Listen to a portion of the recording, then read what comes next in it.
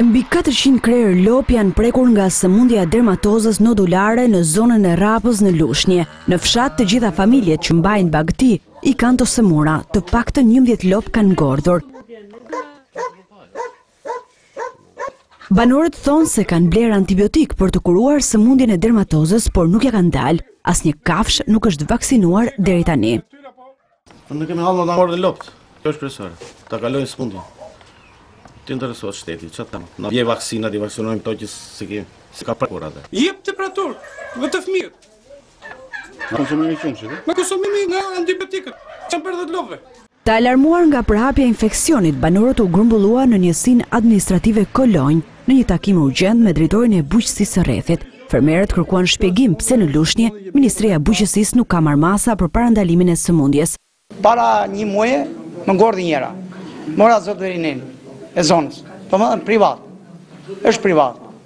I bëri kurat. I bëri gjilpërat, i bëri të tëra. Brenda javës lopa i ngordhi. Sot aktualisht kam tjetrën gati për të ngordhur. Po e mbaj me analgina. Çdo gjashtë orë. Tani si i bëhet halli? Do japim përgjigje këta?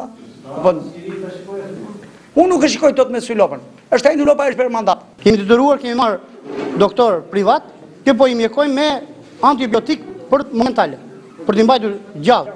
Një dy rrona ti bën çfarë do bën. Kurse drejtori i bujqësisë në Lushnje Agim Rasa u premtoi banorëve se do të kompensohen me lopë ose lekë.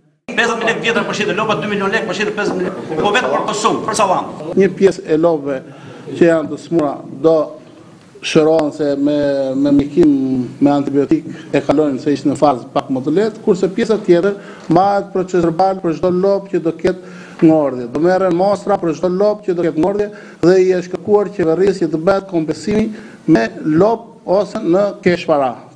Në Lushnje janë të regjistruar tridhjetë mijë krerë lopë dhe nëse nuk merren masa parandaluese për prekjen e të gjitha kafshëve nga dermatoza nodulare, pasojat do të jenë katastrofike.